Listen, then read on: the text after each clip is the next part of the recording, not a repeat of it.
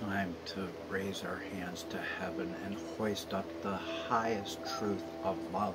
That love is not even love unless it is given away, and love is not love if it's selfish love. Uh, if there are any conditions whatsoever, any strings attached, then divine love instantaneously goes away. That is the gross darkness that has covered all mankind, Isaiah 60. That is the gross darkness, the veil that has been covering all people of all nations, according to Isaiah 25, that shall now be removed at the latter day mountain where 10,000 ignored videos are waiting for people that want to know. God's people have always been destroyed for lack of knowledge, and now people have an opportunity to learn some of the secrets of the Word of God.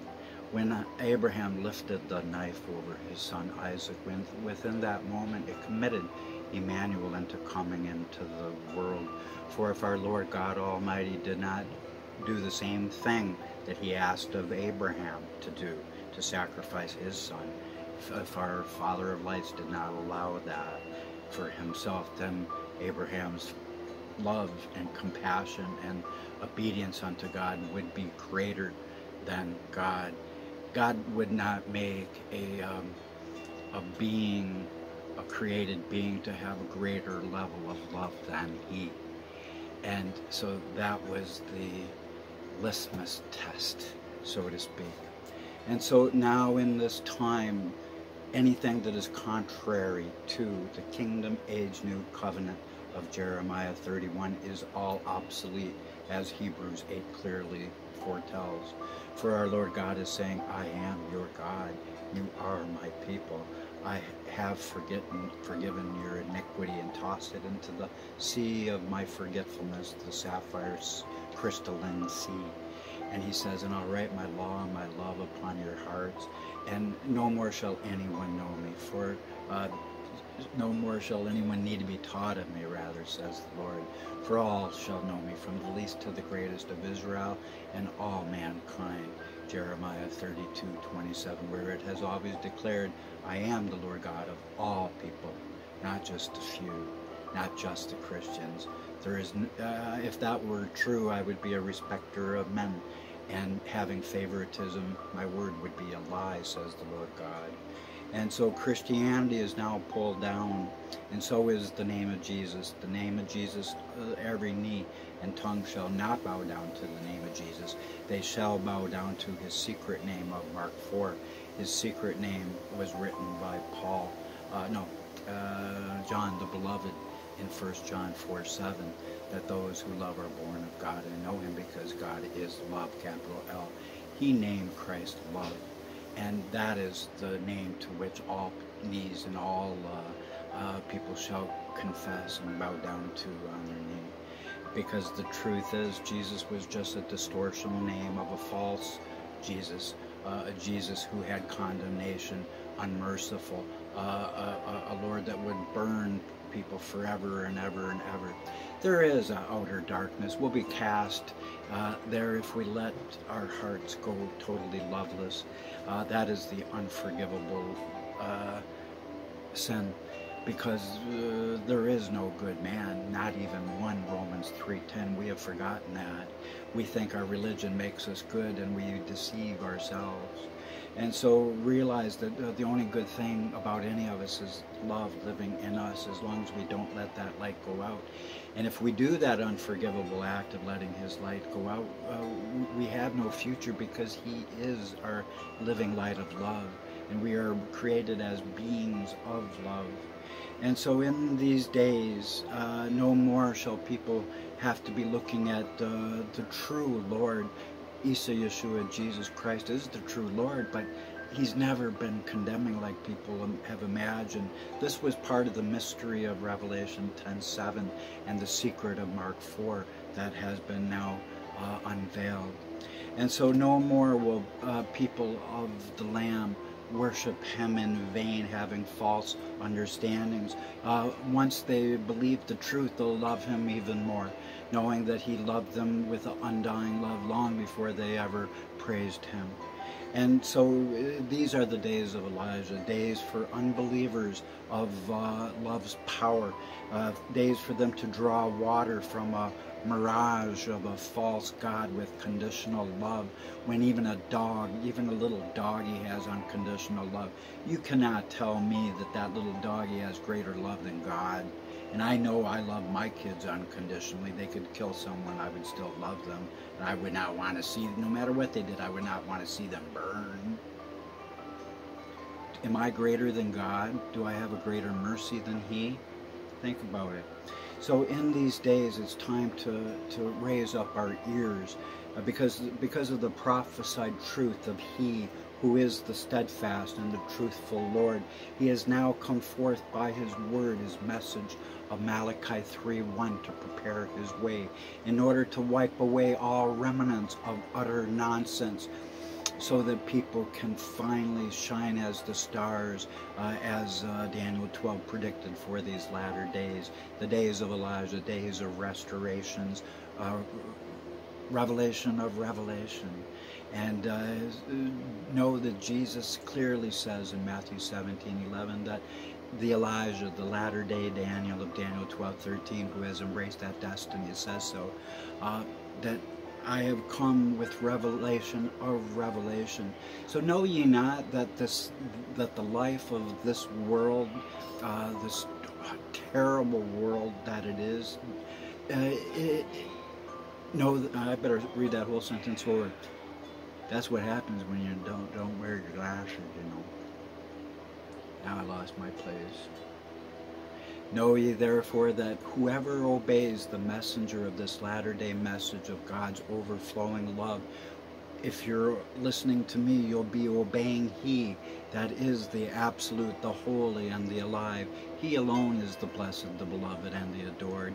He is our majesty of majesties, shining in the splendor of His magnificence as He inserts the sickle of Revelation 14 into the earth for the harvest of His love. So it's time to take a stand against ignorance, for there has never been any darker ignorance than the ignorance of love alone. And so in this hour, it's time to receive love's greatest power. But understand, O lovers of the Virgin Mary, uh, Catholics and Protestants, uh, listen, all people of Muhammad. Uh, the very last verse of the very last chapter of Daniel, Daniel 12, it, it strongly stresses uh, that the prophetic spirit of Daniel would rise again at the time of the end, so that there could be revelation of revelation, so all things could be restored. Without revelation of revelation, how could anything have restoration? Think about it.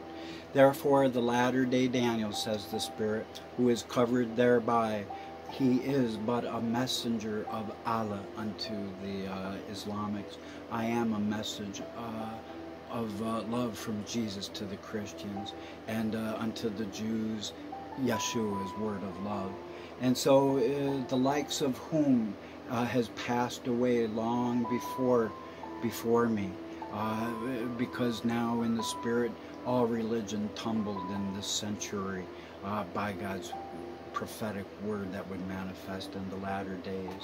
And so just as Christ was slain before the foundation of the earth, uh, it was uh, fated that only the religion of unconditional love would only be the only one standing in the latter days. And so it's time to get with that program, to salute love as an, our new flag. So let the just souls of earth finally come to see that our Lord of the universe has never raised a prophet, nor has he ever sent down a book divine unless he has first established his covenant with all men through his prophets. Uh, so it is time for the covenant of his greatest glory that causes the obsolescence of all religion, as the last sentence of Hebrews 8 declares. And since the Lord God has prophesied in the, his word, uh, written in the book of Habakkuk, written plainly so people who readeth it and hear it read might run. Written plainly, the writer would come, Isaiah 28, line by line, precept by precept, the strong and mighty one would come forth as a destroying storm, even a hailstorm to tear down. Jeremiah 110, exactly as Haggai 2.2 says. For God has to tear down all the distortionality so we no longer looking through a glass darkly anymore. And so in this hour, people should now accept this last revelation of past revelations if any obedience or common sense is left anywhere within the circle of earth. But insofar as this inspirited uh, word of love, uh, unconditional, has been, let every soul with a mind to think now believe God's word so that they can see with their own eyes that the written outpourings of his endless bounty uh, in the book of Joel 2 and Acts 2, him pouring out his love over all flesh, absolutely all, because Jesus is now arisen as the good shepherd over all the flocks of man. And so in this hour, uh, people can uh, see his love has always been ceaseless, without limits. It's been an unstoppable force here upon earth. So it's time for much wickedness to flee. And thank God that the sea of forgetfulness of the Lord's forgiveness uh, is covering the worst of our worst.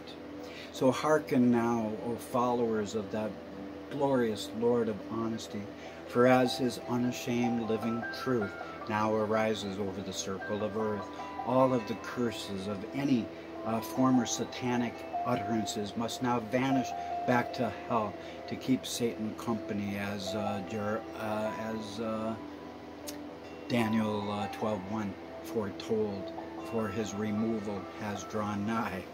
Uh, and for this reason the Lord God he is the glorious and he is the resplendent one who allows not darkness to prosper around him. So it's time to stand still and see the salvation of knowledge of glory and let all disobedience damning this word of the ages now quickly stop being vipers so that they can come to see the most blinding light of the Lord God's very best end time promise. Don't you know he's the Lord always has saved the best for last? And know that this very book, this very word that I am reading here, line by line, precept by precept, uh, it, it uh, was long ago hidden within the blackest clouds of disbelief. I've written 200 books that next to nobody read, and I've got 10,000 videos that next to nobody watches because none of them believe the Word of God but now have the brightest rays of his beaming sun of holiness finally risen high as a faithfully promised rainbow of kingdom age peace. And time shall prove undoubtedly that such an elusive kind of peace that will come not by power nor by uh, might, but by the Spirit of love, shall happen one heart at a time. And that will usher in the unforeseen days of um, brotherly love between Christians, Muslims, and their Jewish brothers and sisters, and it will ha happen naturally as well in the supernatural. So the harvest of peace has come. Therefore, it's finally the long awaited season to be excited because the most blessed, passionate period has finally unveiled, just as uh, Isaiah 25 foretold. He's removing the veil now off all nations. And so let this everlasting gospel of, of Revelation 14 go again to all people, to all tribes, to all nations, as uh, it is written in Revelation 14. And so it's time that uh, by the Lord's word of truth, we can now discard all garments of falsehoods that have been cluttering up our closets of our messed up minds, making us be mixing our uh, words in a, such a way that we're always mixing about words. It's like we've been spiritually schizophrenic because we haven't been seeing so clearly through that glass darkly and know that such desolate former robes of many damnable lies have been put upon faithless believers by themselves uh, as they unknowingly disbelieved prophecy and as they became some de deceived servants of earth's uh, thickest gross darkness which is called Christianity and the condemnation hellish that they have brought us. And it shall be made very clear now that the Lord is saying to all people of love that he will never remember their sin. That is the word of God that supersedes all others. Be out in a bit. And uh, one thing is for sure, uh, the Lord is now making it very clear that uh, victims of such deceptions need uh, have let themselves be swept up with insane hopes that no further inspirations from above could ever possibly come forth from another prophet. People believe that shit, even though uh, Elijah was foretold the latter day Daniel, who has embraced that destiny, Daniel 12 13, even though it is foretold that I would restore all things. How could you restore all things without any revelation, people? Come on. Um, and realize that such religious souls like Randabeest, they hold hatred over any new prophet, edifying, God-fearing, loving members of mankind. And it's never made any difference what we believe. Many are going to say, Lord, I believed, I did this, I did. And he's going to say, that didn't matter. It was you let your love go out. And so it's time to extol up all the Lord's names of love uh, that voice his love for him. And I know this, that I am Daniel F. Owsley, the Lord's end time apostle unto Islam and to the Jews and to all false religions, which all the world's religions are false if they are not loving. Uh, and if they think that by believing what they do, that makes God a respecter of them, likes them a little bit more. That's always been total bullshit because that God is a false God. That God is now in uh, hell for uh, 1,000 years according to the Word of God.